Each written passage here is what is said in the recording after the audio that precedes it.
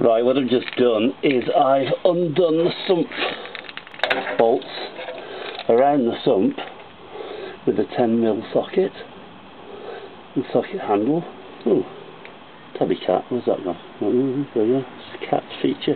Um, under them with this little socket, leaving the corner ones slightly screwed in, thinking that the weight of the sump might well make it drop along with the weight of any residual fluid in there. And lo and behold it has. And you can see that light there. We have a ongoing loose sump scenario which is absolutely brilliant.